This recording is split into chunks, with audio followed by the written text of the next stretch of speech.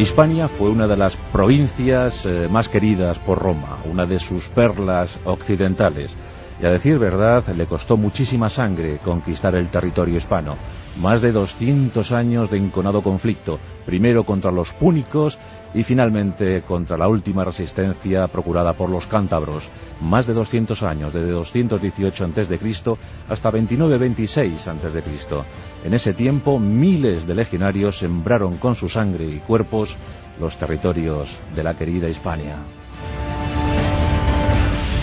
Pero sucedió algo asombroso y es que Hispania se reveló como uno de los lugares más fructíferos para aportar no solo materias primas, esas inagotables materias primas que llegaban de la península ibérica, sino también hombres lúcidos que dieron buen sentido de gobierno al imperio más luminoso y violento de la historia. De ese modo, intelectuales, mercaderes y por supuesto militares engrosaron las filas del imperio para mayor gloria de este, incluidos tres emperadores, Trajano, Adriano y Teodosio.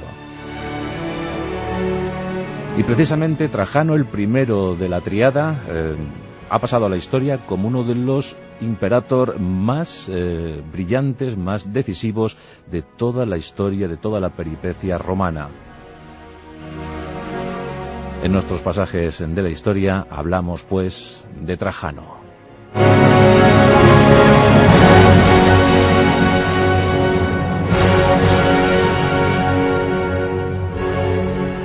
Viajamos a Itálica, un lugar próximo a la actual Sevilla, una ciudad eh, fundada por las tropas veteranas de Publio Cornelio Escipión.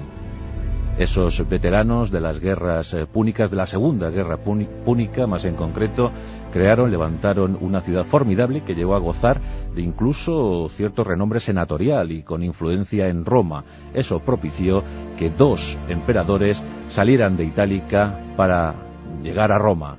El primero de ellos, eh, Marco Ulpino Trajano, nacido el 18 de septiembre del año 53 después de Cristo.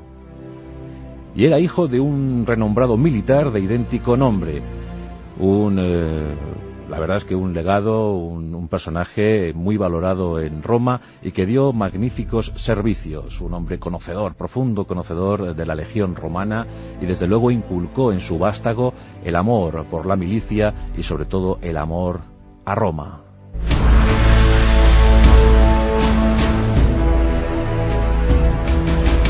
No es de extrañar, pues, que Trajano se criase en el mejor ambiente castrense posible, rodeado por las legiones, y viendo cómo aclamaban a su padre, fue el mejor ejemplo para él.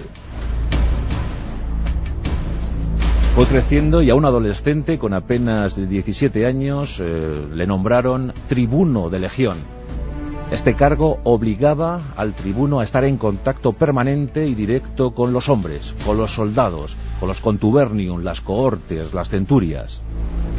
Trajano, por tanto, sabía cómo se organizaba una legión y sabía perfectamente cómo desplegarla ante el enemigo. Con esa brevedad, entre los 17 y los veintipocos años, acompañó a su padre en algunas campañas, la principal acaso fue la de Siria. Allí las legiones se batieron eh, con una dignidad absoluta y consiguieron una gran victoria, un gran triunfo para Roma. Por supuesto, los Trajano, padre e hijo, recibieron eh, la aclamación eh, popular. En Roma se les elevó a lo máximo.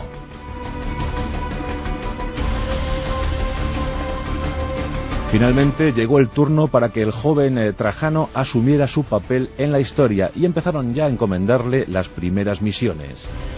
Una de ellas, la contaremos aquí, fue la de ir como legado, volver a su tierra natal, a Hispania, para asumir el mando de la séptima legión Gémina. Acantonada en la actual ciudad de León, dio nombre, eh, Legio, dio nombre a la, a la ciudad, y allí estuvo un tiempo eh, Marco Ulpino Trajano como legado de esos hombres, de esos legionarios, los cuales le adoraban. Era muy importante para un grupo de casi 5.000 efectivos pues tener un jefe eh, diligente, un, un, jefe que supiera cómo era la idiosincrasia del legionario. Y Trajano la conocía a la perfección, era uno de ellos. Luchaba, combatía, sangraba al lado de sus hombres. Por tanto, eh, desde Roma pronto le llegaron misiones más arriesgadas. En Roma se sabía que Trajano era un hombre válido, un magister militum como pocos. Y en tiempos de Domiciano, del emperador Domiciano, llegó una nueva tarea para Trajano, y esta fue la de acudir a las limes germanas. Los principales enemigos de Roma eran sin duda alguna las tribus germánicas. Y contra ellas eh, fueron eh, los legionarios de Trajano. Durante varios meses la lucha fue continua, incesante, miles de muertos en uno y otro bando. Al fin, eh, Trajano fue nombrado cónsul gobernador de la Germania Superior. Era un puesto difícil, pero que Trajano asumió con absoluta garantía. La situación en Roma era delicada. Las instituciones públicas no atravesaban su mejor momento. La hambruna se apoderaba de las castas más devaluadas. Y Nerva, sin descendiente alguno, se fijó el emperador Nerva en él en el año 97 para proclamarle, para nombrarle hijo adoptivo, una práctica muy habitual cuando se confiaba en alguien para cederle ese mando, ese puesto, ese lugar tan importante en el mundo conocido. Esto ocurría en el 97 y a los pocos meses la verdad es que Nerva falleció en enero de 98. Por tanto, Trajano fue el elegido, el llamado a ocupar el trono imperial. Pero tanta era su responsabilidad en aquel momento, allá en la frontera germana, que decidió quedarse dos años más hasta completar su misión, hasta pacificar la frontera. Y comenzó a tomar ciertas decisiones que granjearon para él la amistad no solo del pueblo, sino también de los senadores y de los generales. Asunto muy importante, por estos eh, siempre estaban temerosos de perder su, su distinción o de los beneficios acumulados durante años. Trajano supo tratar muy bien a todos, a todas las eh, castas, a todos los estamentos sociales. Concedió privilegios a los senadores, pagó muy bien a los ejércitos, era un militar ante todo, y por ello, cuando llegó a Roma, dos años después de haber sido proclamado imperator, pues no solo le ungieron con esa mm, distinción, sino también con la de Optimus Princeps. Esto reconocía de facto para la figura de Trajano pues una valía, una valía otorgada por su pueblo. Las cosas habían hecho bien. Y Roma caminaba decidida hacia la mayor grandiosidad de su historia. Esta se la iba a procurar, sin duda alguna, el emperador Trajano, aquel hombre llegado de Hispania. A decir verdad, eh, Trajano fue muy eficiente en su mandato. Pues eh, no solo los mencionados privilegios fueron eh, concedidos y asegurados para los senadores y los militares, sino que también mm, decidió dar comida a su pueblo hambriento. E inició una suerte de gestiones en las que todas las familias desfavorecidas de Roma fueron alimentadas de manera gratuita. Por tanto, aquellas familias, aquellos clanes, siempre sonrieron cuando se nombraba a Trajano. Los niños pudieron comer. O si fuera poco, Trajano decidió dar créditos a muy bajo interés a las eh, castas agrarias, a los agricultores, a la clase media, con lo que la riqueza empezó a revertir también en el Estado, porque esos eh, tributos que se podían pagar de forma asequible, de forma fácil, pues mejoraron las arcas, las arcas patrimoniales romanas. Aunque Trajano también era consciente que cualquier emperador que se preciase de serlo debía dejar su legado, su huella, y por eso fue uno de los grandes arquitectos de Roma. Ya en tiempos Octavio Augusto había cambiado los ladrillos por el mármol, eh, revistiendo a Roma de su gran aura imperial, pero después otros como Vespasiano habían levantado grandes edificios como el Coliseo. Ahora le llegaba el turno a Trajano y tomó desde luego las mejores eh, decisiones en ese sentido, pues no solo proveyó a Roma de gran esplendor arquitectónico, sino que también mejoró las infraestructuras del país, por ejemplo, remodeló la vía Apia, engrandeció el puerto de Ostia, la, fuente principal eh, de suministro para la capital de las eh, siete colinas, y no se olvidó de Hispania, claro pues se rehabilitó la Ruta de la Plata, desde Mérida Augusta hasta Astúrica Augusta, esto es, desde Mérida hasta Astorga, esa ruta esencial para los transportes y mercancías de la península. Se crearon eh, pues monumentos insignes como por ejemplo el acueducto de, de Segovia o el puente de Alcántara en Cáceres. La verdad es que en Hispania agradecieron muy mucho que un emperador eh, proveniente de, del territorio peninsular ibérico llegase al trono imperial, porque desde luego Hispania floreció como nunca. Y también muchos hispanos fueron a escoltar a su emperador. De ese modo, pues intelectuales, economistas, eh, mercaderes se dejaron ver por Hispania y después en Roma, en lo que ya se empezó a considerar a llamar el clan de los hispanos. Fue el momento más notable de mayor relumbrón para los hispanos en el imperio, en la metrópoli imperial. Muy considerados, muy considerados desde los tiempos de Séneca. Pero en el momento, en el periodo de Trajano, desde luego alcanzaron las cotas máximas. Algo que se reforzaría notablemente con el sobrino y heredero de Trajano, Adriano, En Roma levantó el magnífico foro de Trajano, también un mercado, también una basílica inmejorable. Fue un momento eh, luminoso, significativo, creciente. Trajano era aclamado y aún más tras su victoriosa campaña en la Dacia. Nos encontramos en el año 102. La Dacia, la actual Rumanía, era un territorio muy apetecible para los intereses romanos. En la región transilvana, por ejemplo, se encontraban eh, pues, magníficas grandes eh, minas de oro que los romanos ambicionaban poseer. Trajano, en campañas eh, fulgurantes y terribles, en dos campañas sobre todo, consiguió dominar toda la Dacia, y esto quedó inmortalizado en una columna que aún sobrevive en Roma y que bueno, pues eh, maravillosa, de, varios metros, 38 metros de, altura, pues ahí eh, se refleja los momentos, los detalles de toda la campaña en la Dacia.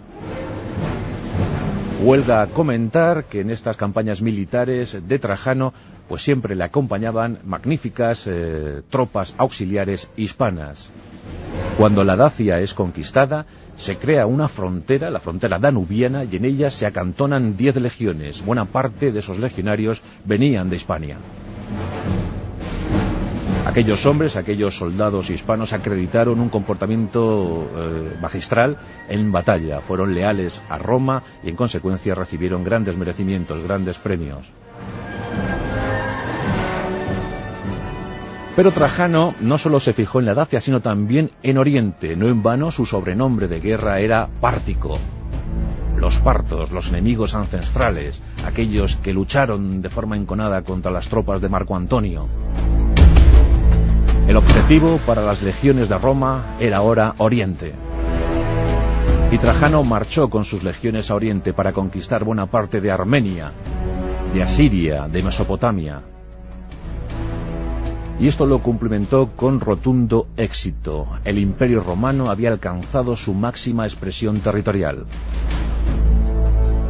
Faltaba organizar las nuevas provincias y en consecuencia Trajano dictó que se crease un aparato burocrático inmenso que mejoró ostensiblemente el buen rendimiento de las provincias. Roma era más grande que nunca. Pero en su debe, en su debe también hay cosas eh, que anotar. Eh, por ejemplo, que mediante leyes impidió que los esclavos denunciasen a sus amos. Y también Trajano aseguró que los cristianos siguieran siendo penados. Por cierto, a Trajano le encantaba eh, organizar juegos, era la práctica habitual del momento, los gladiadores eran las estrellas de aquel periodo.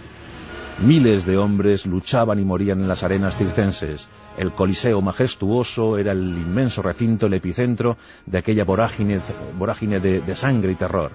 Bien, pues después de la Dacia, Trajano organizó los mayores juegos jamás vistos. Durante cuatro meses, diez mil gladiadores combatieron, lucharon, sangraron y murieron para mayor gloria de Roma. Gladiadores eh, con diferentes indumentarias, batallas que se recreaban a pequeña escala, fieras eh, que eran rematadas en las arenas del circo, de los anfiteatros, en fin, 10.000 hombres que no corrieron muy buena suerte, muy buena aventura en aquel tiempo de Trajano, el cual pues pretendía que su mandato llegase a la gloria, a la fama universal, y a fe que lo consiguió.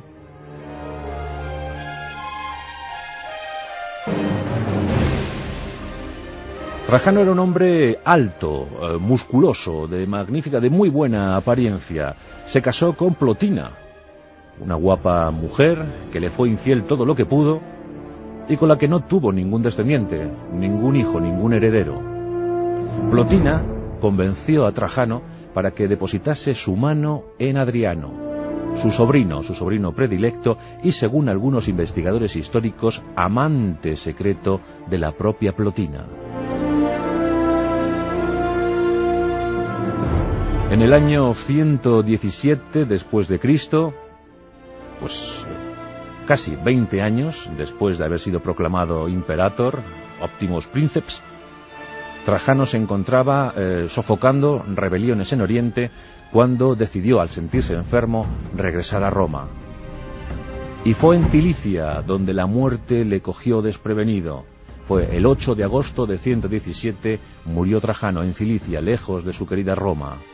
Sus cenizas eh, llegaron a la capital imperial, a la ciudad eterna, en medio del dolor. Sus eh, queridos súbditos, sus conciudadanos, le dieron los mejores funerales posibles, unas exequias dignas del mejor emperador hasta entonces jamás visto desde los tiempos de Octavio Augusto. Esas cenizas fueron depositadas en la base de la columna trajana y allí quedaron para recuerdo de todos. Le sucedió, como antes hemos comentado, su sobrino Adriano, un hombre que también se empeñó en proclamar su gloria, un hombre que sembró de murallas, por ejemplo, Britania, esa muralla de, Adriano que separó el mundo civilizado conquistado por Roma de los salvajes del norte. Estos emperadores hispanos, la verdad es que dieron mucho fulgor, mucho, mm, eh, mucho brillo al, imperio, no solo Trajano y Adriano, sino después, en el siglo IV después de Cristo, el propio Teodosio, nacido en Coca, en, Segovia, y que tras él, eh, la cosa fue así de fatal, en 395, en enero de ese año 395, el imperio quedó fracturado definitivamente en dos, Oriente y Occidente. En ese mismo año 395 venían al mundo bárbaros que iban a sacudir Roma, uno de ellos Alarico, Alarico I, el, magnífico, el gran eh, rey de los visigodos, el primer gran rey de los visigodos, y otro, Atila, nacido en la Panonia, sería considerado el azote de Dios, y algunos llegaron a pensar que las hordas de Atila, los unos, eran nada más y nada menos que los embajadores del infierno, aquellos que ejecutarían de forma y misericordia a los imperios de Roma. Y algo de razón eh, no les faltaba, ¿eh? Pero esta noche hemos rendido justo y merecido homenaje a una figura insigne que dejó una huella indeleble, imperecedera, en aquellas eh, murallas imperiales. Su nombre, Marco Ulpino Trajano, el itálico, el pártico, el hombre que dio sentido arquitectónico a la novísima Roma imperial. Para él iba este pasaje de la historia. En Onda Cero, Juan Antonio